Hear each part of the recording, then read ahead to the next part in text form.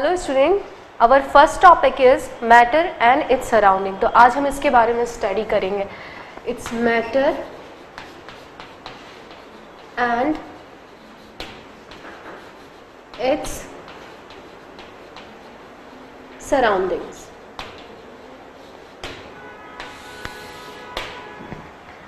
see सबसे पहले question आता है कि मैटर होता क्या है? मैटर के बारे में अगर हम बात करते हैं तो matter is just kind of पदार्थ, जो हिंदी में बोला जाता है। Matter is anything which occupy space and have mass that is called matter. कोई भी ऐसी चीज़ जो स्पेस को घेरती हो और जिसके अंदर मास हो, मैटर कहलाता है। अब देखिए, मैटर हमारे चारों तरफ़ प्रेजेंट है। अगर आप खाने की बात करते हैं, किसी थिंग की बात करते हैं टेबल कुर्सी chair anything that having the mass and that occupy the space also. So all these things are matter. Even element, hydrogen hai, carbon hai, oxygen hai, these all are metal. Even though they are gases but still they have the mass and they have they occupy the space. अब देखिए अगर हम last पुराने समय की बात करते हैं जो इंडियन एशियन फिलोसोफर थे उन्होंने भी कहा था कि जो मैटर है दैट पाँच चीज़ों से मिलकर बना है पाँच चीज़ें वो कौन सी हो सकती हैं बता सकते हैं आप लोग पाँच चीज़ें थी air water sky earth and fire इन पाँच चीज़ों से मिलकर कोई भी चीज़ बनी होती है, ऐसा पहले कहा गया था। लेकिन बाद में जो मॉडर्न थ्योरी आई मॉडर्न थ्योरी को भी मैटर को क्लासिफाई किया गया है दो तरह से। एक फ़िज़िकल क्लासिफिकेशन दिया गया है और एक केमिकल क्लासिफिकेशन दिया गया है। फ़िज़िकल क्लासिफिकेशन के बेसिस पर मैटर को सॉलिड लिक्विड और गैस गैशियल स्टेट में डिवाइड किया गया। जबकि केमिकल क्लासिफिकेशन के बेसिस पर इसको एलिमेंट मिक्सचर और कंपाउंड नाम से क्लासिफाई किया गया है। सो इन दिस चैप्टर हमें पढ़ना है मैटर के बारे में और उसके क्लासिफिकेशन के बारे में कि उसका फ़िज़िकल क्लासिफिकेशन क्या होता है और उसका केमिकल क्लासिफिकेशन क्या होता है। तो सबसे पहले तो हम लिखते हैं इसका डेफिनेशन कि what is matter so matter matter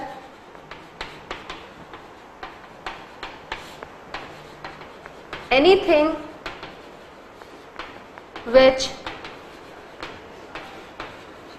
occupy space and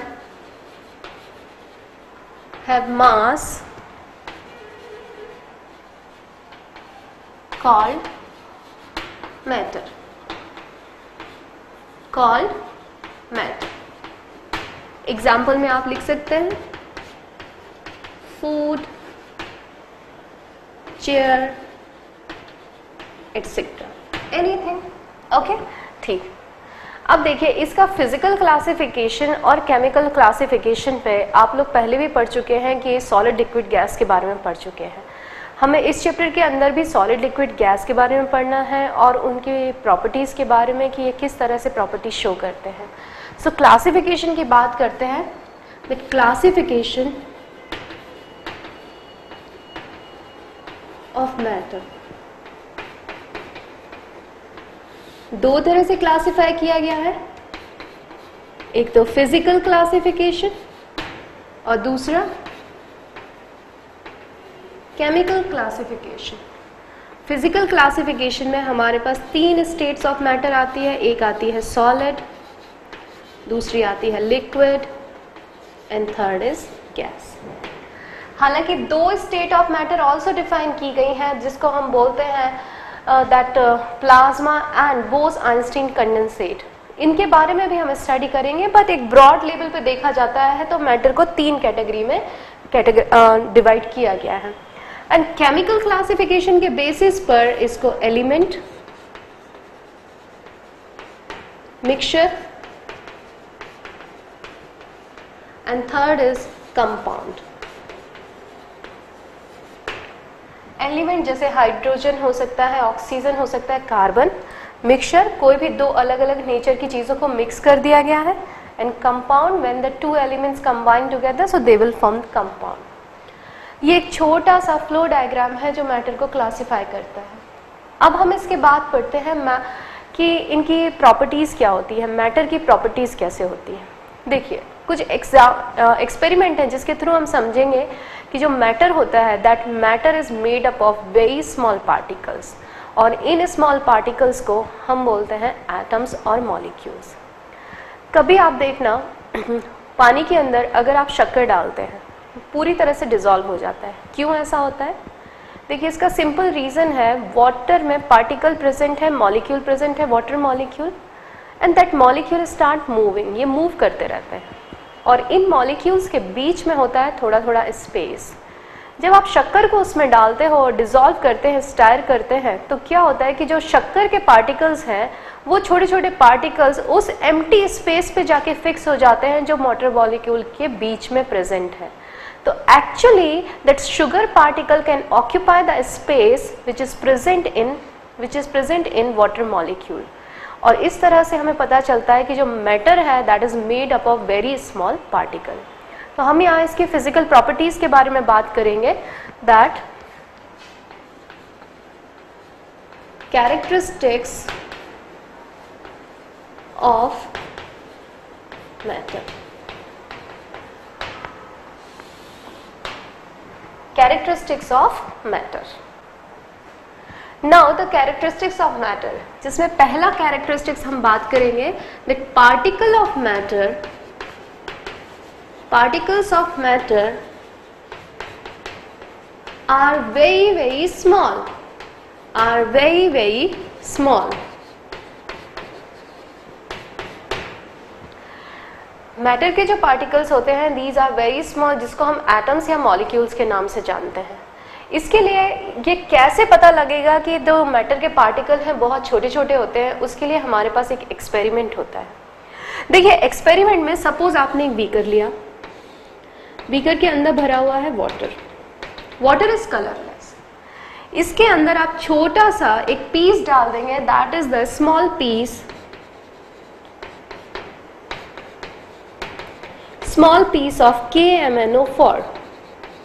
small piece of KMNO4. KMNO4 is a potassium permanganate. इसका कलर होता है पर्पल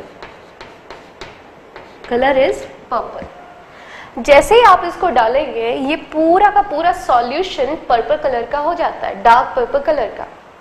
अब क्या किया आपने? इसको डाइल्यूट करना शुरू किया. डाइल्यूट मीन्स वाटर ऐड करना शुरू किया. वाटर ऐड करना शुरू करेंगे धीरे धीरे ये पर्पल कलर कैसा होता जाएगा? हल्का होता जाएगा लाइट होता जाएगा.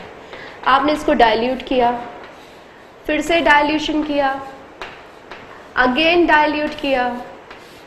तो जैसे जैसे ये डाइल्यूट होता जाएगा, एक समय ऐसा आएगा जब इसका कलर हो जाता है पिंक बहुत ही लाइट कलर हो जाएगा। इसका रीज़न क्या होता है? देखिए K M N O four is made up of million of small particles आपने छोटा सा पीस डाला तो यहाँ डार्क कलर था, आपने डाइल्यूट करते गए तो उसका कलर ट्रांसफ़र होता चला गया। कलर ट्रांसफ़र क्यों हो रहा था? क्योंकि पार्टिकल्स का साइज़ इतना छोटा था इतना छोटा था कि वो हर बार ट्रांसफ़र होते चले जा रहे थे।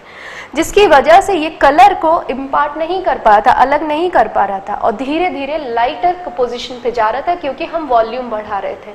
So by increasing the volume, still KMNO4 color is there because that KMNO4 made up of millions of small particles तो हम कह सकते हैं कि that particle of matter are very very small second property की बात करते हैं। तो second property is particle of matter having space between them particle of matter having space between them so so, इस तरह से ये सेकेंड प्रॉपर्टी है। अब ये हम कैसे प्रूफ करेंगे? देखिए इसके एग्ज़ाम्पल आपने एक बीकर में वाटर है।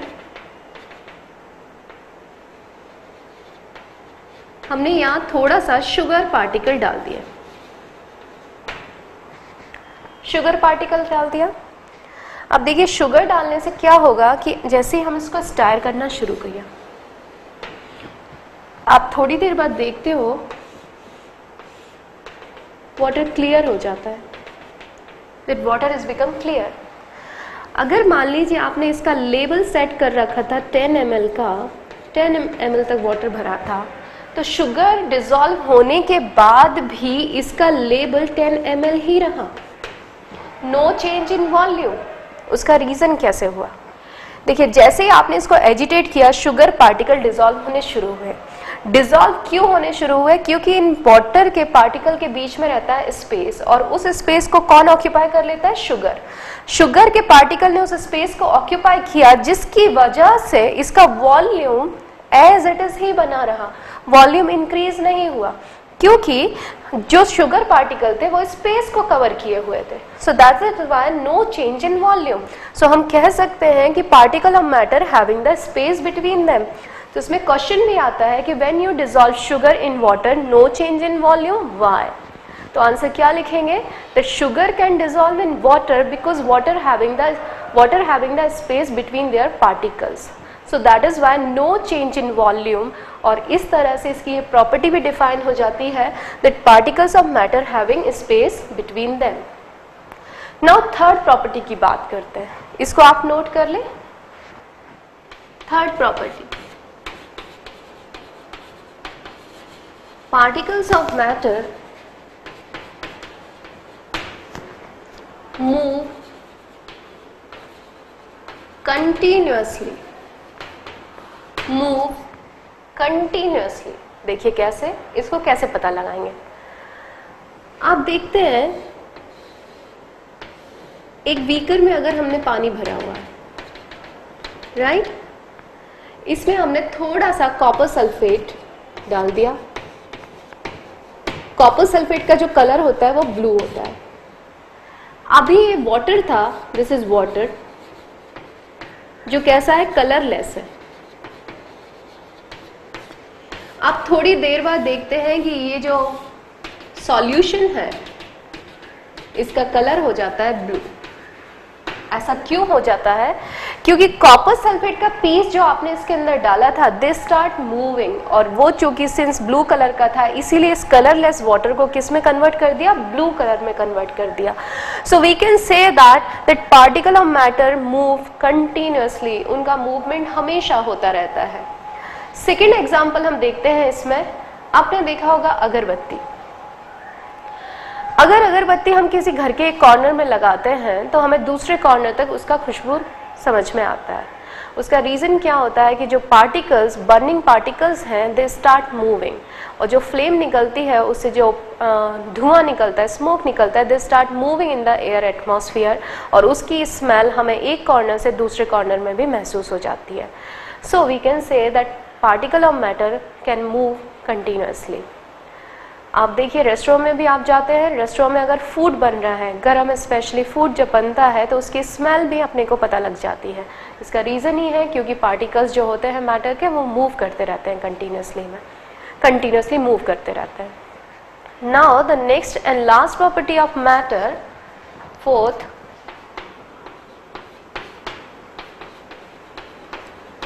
particles of matter have force of attraction. Force of attraction. अब ये फोर्स ऑफ़ अट्रैक्शन कैसे? सीधी सी बात है सॉलिड सॉलिड के जो एटम्स होते हैं, वो इस तरह से कॉम्पैक्ट रहते हैं. ऐसे कॉम्पैक्ट रहते हैं. दिस इज़ सॉलिड अगर हम लिक्विड की बात करें तो पार्टिकल्स थोड़ा मूव करते हैं. दैट इज़ लिक्विड और जो गैस के पार्टिकल्स होते हैं they move much its gas so so, हम कह सकते हैं कि ये सॉलिड में पार्टिकल्स क्लोज रहते हैं कंपैरेटिवली क्लोज रहने का मतलब क्या है कि इनके बीच में फोर्स ऑफ़ अट्रैक्शन ज़्यादा होता है. Force of attraction is higher it means कि ये सॉलिड कंडीशन में है क्योंकि मॉलिक्यूल पास पास में है. अगर फोर्स ऑफ़ अट्रैक्शन थोड़ा सा कम हो गया तो लिक्विड और सबसे कम फोर्स ऑफ़ अट्रैक्शन किसमें रहता है? गैस में. So the force of attraction is very much higher in solid than liquid and then gas इस तरह से physical state of matter appear हो जाती हैं based on the force of attraction in characteristics में ध्यान दीजिएगा, जो भी एग्ज़ाम्पल मैंने लिए हैं एग्ज़ाम्पल बेसिस पर ही क्वेश्चन आते हैं। जैसे फ़र्स्ट एग्ज़ाम्पल मैंने के एम एन ओ फोर का लिया था, इसमें क्वेश्चन आ सकता है कि when you put K M N O four party K M N O four piece in the water that slowly it uh, violet color it will come but after dilution it color is start fading reason why तो आप बोलेंगे कि जब dilute करते हैं so what will happen that KMNO4 particles move from one solution to the another solution. वो move करने शुरू हो जाते हैं और धीरे धीरे उनका कलर कैसा होता जाता है? फैडेड होता चला जाता है क्योंकि वॉल्यूम इंक्रीज हो रहा है। एंड आफ्टर इंक्रीजिंग वॉल्यूम उसका कलर कैसा हो जाता है? पर्पल से पिंक हो जाएगा। सेकेंड वाला क्वेश्चन अगेन वेरी इंपॉर्टेंट था जो शुगर वाला एग्ज़ाम्पल लिया है मैंने। शुगर की जगह आप सॉल्ट भी यूज़ कर सकते हैं कि क्यों है ना शुगर और सॉल्ट मिलाने पर वाटर का वॉल्यूम इंक्रीज नहीं होता है? क्योंकि वाटर पार्टिकल्स के बीच में स्पेस रहता है। सो so, इसकी वजह से इनका वॉल्यूम इंक्रीज नहीं होता है। Third question it comes from the C U S O four जो हमने कॉपर सल्फेट डाला है ब्लू कलर का है, और धीरे धीरे पूरा सॉल्यूशन ब्लू कलर का हो जाता है। उसका कारण क्या होगा? क्योंकि जो मैटर पार्टिकल्स हैं मैटर के, वे they move continuously burning stick की स्मेल हमें एक कॉर्नर से दूसरे कॉर्नर में क्यों सुनाई देती है? उसका रीज़न भी मूवमेंट ही होता है। फ़ूड का स्मेल हमें एक कॉर्नर से दूसरे कॉर्नर में क्यों नज़र आता है? Because of the movement In the last one, particle of matter have force of attraction, solid having the highest force of attraction, then liquid and then gas. Note कर सकते हैं आप इसको. Now, before starting the physical classification of matter, we have to understand two property that is called rigidity and fluidity. Rigidity का क्या meaning हो सकता है? सी रिजिडिटी मीन्स होता है जो अनबैंडिंग हो इनफ्लैक्सीबल हो, वो कहलाते हैं रिजिड प्रॉपर्टी वाले सब्सटेंस सो मैटर को हम एज अ रिजिड मानते हैं क्योंकि इसका शेप जो रहता है, वो कांस्टेंट रहता है और दे आर नॉट एक्चुअली अपने शेप को ना तो बैंड करते हैं और ना ही ये फ्लैक्सीबल होते हैं. सो रिजिड कैरेक्टर किसमें प्रेजेंट रहता है? सॉलिड्स में प्रेजेंट रहता है. अगर फ्लूडिटी की बात करते हैं तो फ्लूड फ्लूड मीन्स जो ऐसे सब्सटेंस जो फ्लो कर सकते हैं। So those substance which can flow easily that is called fluidity and fluidity is the actually the property so हम लिक्विड और गैस को फ्लूड मान सकते हैं, और जो टेंडेंसी होती है उनकी फ्लो करने की, उसको हम फ्लूइटी कहेंगे। और जो रिजिट कैरेक्टर है, वो सॉलिड में होता है, और जो टेंडेंसी है, उसके अपने शेप को मेंटेन करने के लिए that is called rigidity so rigidity को डिफाइन करेंगे tendency to maintain the shape this character is defined by the rigidity and that is happen in solid and fluid के बारे में बात करेंगे the tendency of flow of a substance like liquid and gas that is called fluidity so इस तरह से ये दो important term को use किया जाता है now we are going to start that physical classification of matter जो solid liquid और gaseous मानी गई है physical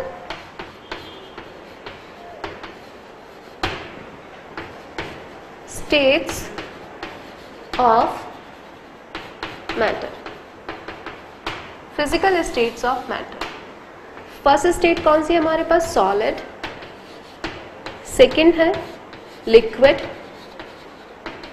एंड थर्ड है गैस इसके अलावा दो स्टेट्स ऑफ़ मैटर और मानी गई हैं, जिसको हम जर्नली स्टडी नहीं करते हैं इसके साथ में स्टडी कर लेता है। फोर्थ नंबर होता है that is plasma and fifth is Bose Einstein condensate Bose Einstein condensate one by one करके हम इसकी प्रॉपर्टी के बारे में स्टडी करते हैं। सबसे पहले we talk about the solid solid solid आपने चारों तरफ़ देख रखा है, हमारे आजू बाजू इवन ये बोर्ड है even we are are self also we are the solid solid का मीन्स होता है they have fix shape and fix volume solid have fix shape and fix volume बिल्कुल। कोई भी सॉलिड पार्टिकल लेंगे, आपके शेप भी कैसा रहता है फिक्स रहता है और उनका वॉल्यूम भी कैसा रहेगा फिक्स होगा। सेकेंड बात करते हैं solid can not compress easily बिल्कुल करेक्ट है। सॉलिड को हम आसानी से कंप्रेस नहीं कर सकते मींस उसको प्रेशराइज नहीं कर सकते, क्योंकि उसके बीच में फोर्स ऑफ़ अट्रैक्शन बहुत ज़्यादा होता है। स्ट्रांगली बाउंडेड होते हैं, इसीलिए हम उसको कंप्रेस नहीं कर सकते। थर्ड प्रॉपर्टी की बात करेंगे। Solid can not flow correct है। That force of attraction is very high तो इसलिए इसके मॉलिक्यूल या पार्टिकल्स फ्लो नहीं कर पाते हैं। इस वजह से इनका फ्लोइंग कैपेसिटी नहीं होता है, इसी वजह से हम इसको फ्लूड में कंसीडर ना करके रिजिट में कंसीडर करते हैं। फोर्थ होता है solid can not take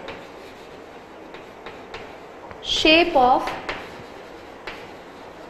container container के शेप के अकॉर्डिंगली नहीं रहते। उनका खुद का शेप जो रहेगा, वही रहेगा। लेकिन कंटेनर का shape x y z what हो, उसे सॉलिड से कुछ फ़र्क नहीं पड़ता है। Fifth solid have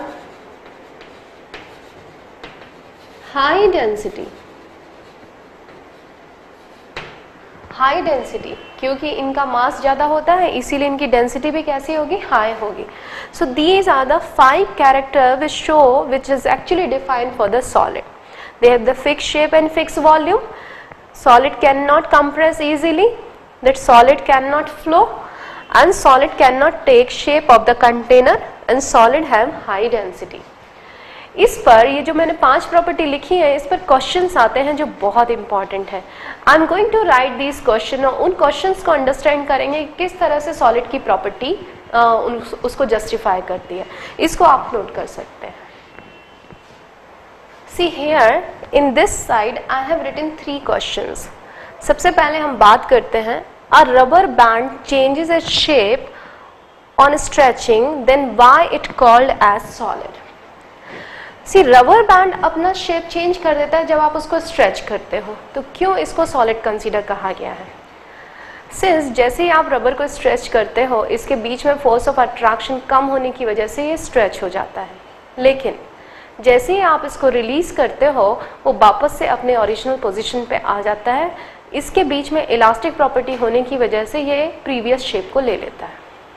So we can say that कि rubber is a solid why So rubber can change its shape on stretching by the external force but it can regain its previous shape when release this external force that's why we called it solid. So अपना shape regain कर लेता है इस वजह से इसको solid consider किया गया है सेकेंड क्वेश्चन की बात करते हैं सेकेंड क्वेश्चन देखेंगे if salt and sugar do not appear to have a fixed shape, then why do we call them solid? Sugar and salt की बात करते हैं छोटे छोटे पार्टिकल्स होते हैं। अगर आपने उसको लंबी बॉटल में रखा है तो वो लंबी बॉटल का शेप ले लेंगे। अगर आपने उसको छोटी बॉटल में रखा है तो वो छोटी बॉटल का शेप ले लेंगे। आपने उसको बड़े बर्तन में रखा है तो वो बड़े बर्तन का शेप ले लेंगे। जबकि हमने सॉलिड की प्रॉपर्टीज़ में क्या लिखा हुआ है? कि solid can not take shape of the container तो फिर हम इसको सॉलिड कैसे कह सकते हैं? So we can say that that solid का जो इंडिविजुअल क्रिस्टल होता है इंडिविजुअल क्रिस्टल का एक फिक्स शेप और फिक्स वॉल्यूम होता है, जिसकी वजह से हम उसको सॉलिड कंसीडर करते हैं। हमने कितनी क्वांटिटी में शुगर ली है या कितनी क्वांटिटी में सॉल्ट लिया, उससे कोई फ़र्क नहीं पड़ेगा। That individual crystal having the fix shape and fix volume third question की बात करते हैं। A sponge can be compressed easily, so why do we call a sponge a solid? हमने प्रॉपर्टीज़ में यहाँ लिखा है कि that solid can not compress easily जबकि यहाँ स्पॉन्ज कंप्रेस हो रहा है। सो देन वाई हम उसको सॉलिड बोल रहे हैं? सी स्पॉन्ज के अंदर होता है छोटे छोटा पार्टिकल्स होता है, छोटे पार्टिकल्स नहीं स्पॉन्ज के अंदर होल्स रहते हैं। इन होल्स में एयर जाके चली जाती है एयर चली जाती है। When you press it that air expel out air बाहर निकल के आता है। जब आप उसको रिलीज़ कर देते हो तो ईयर वापस से चली जाती है, जिससे वो अपना ओरिजिनल शेप गेन कर लेता है। तो इस वजह से हम स्पॉन्ज को सॉलिड कंसीडर करते हैं। तो ध्यान दीजिएगा solid having the air pores when you compress that air expel out and when you release that air goes back to their original position so that is why we consider, and it having the fixed shape and fixed volume, so that is why sponge consider as a solid. ये जो तीनों question मैंने यहाँ लिखे हैं, इसको आप बहुत केयरफुली नोट कर लेंगे और बिल्कुल लर्न कर लेंगे। Because these three question exam purpose पे बहुत इंपॉर्टेंट हैं और यही आपके मार्क्स गेनिंग करते हैं अगर आप छोटी छोटी चीज़ों को ध्यान में रखते हैं तो। इसको नोट कर लें इन क्वेश्चंस को और इनके आंसर्स जो मैंने आपको बोले हैं, उनको भी अच्छे से नोट कर लें। इसके बाद हम लिक्विड्स के बारे में स्टडी करते हैं।